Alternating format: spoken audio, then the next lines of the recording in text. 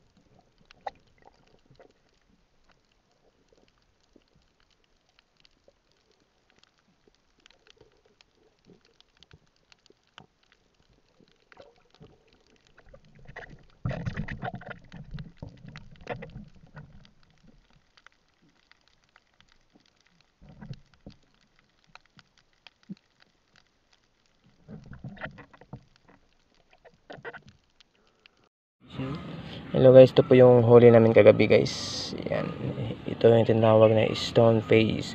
Pag pinipisil mo yan guys, so pang talas po niyan. Tapos para siyang injection, may butas yung gitna ng tinik. Tapos pag pagbuhay pa siya, tapos pag natinik ka nito, may tumatalsik na parang puti. Yung gitna nito ay may parang ano, may butas yan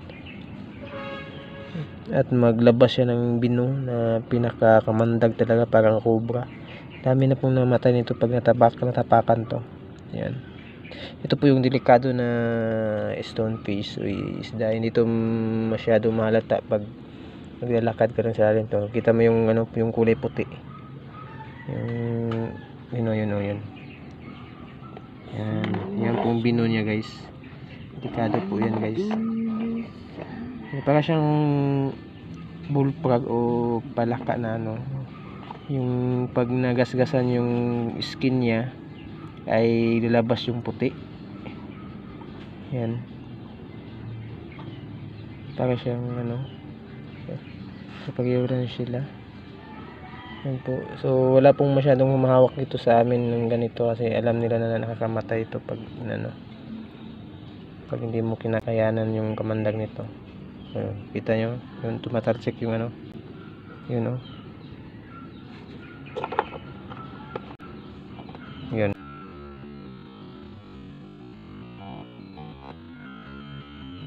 Yan.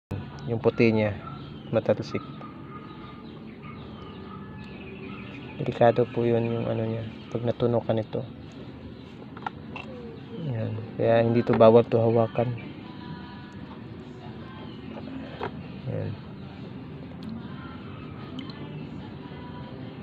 Sobrang kamandag po nito guys.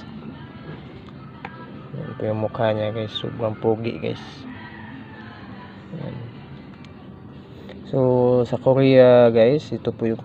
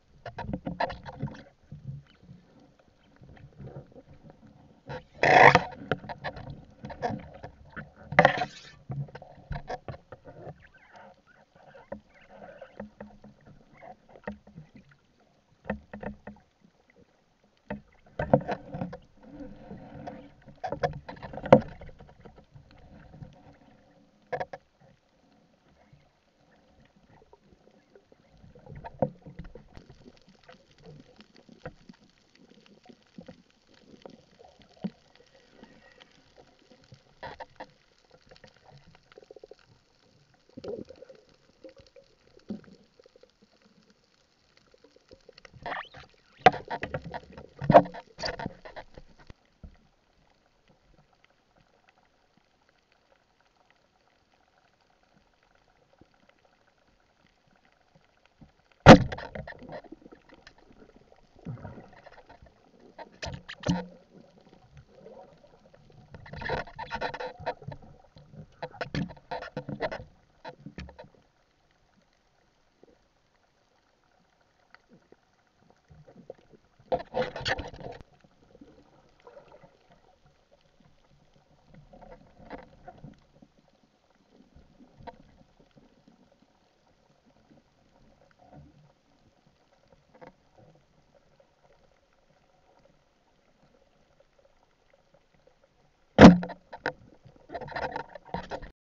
So, ayan na.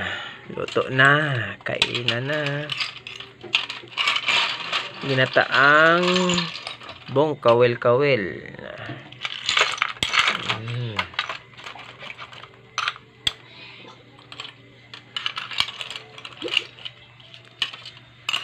So, nasa mga 3, 3 kilo yung bungkawil natin. Bungkawil, bungkawil tawag po sa amin. So, yung iba para bukas po. Budget po tayo sa ano para makatipid po tayo sa ulam para iwas gastos. Ayan. Kailangan po tayo kumayod pang ulam. Hanggat may dagat pa, hindi pa nauubos. Ayan.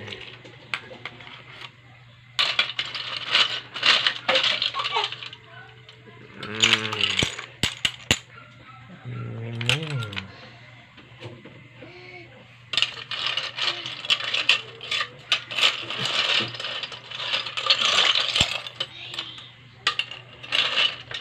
So, ito na muna.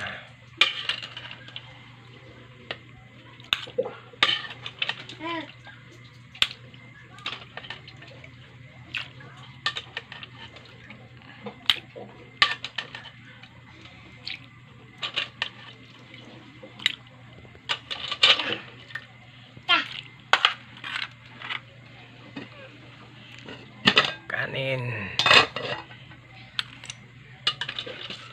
So, banat yung kain natin ngayon. Banat.